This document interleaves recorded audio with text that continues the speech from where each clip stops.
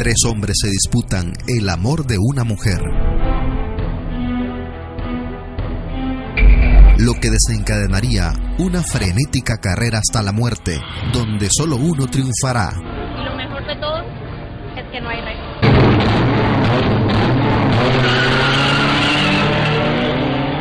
45 TV presenta en primera fila Patrón, ¿viene un carro sospechoso? Sigue, sigue.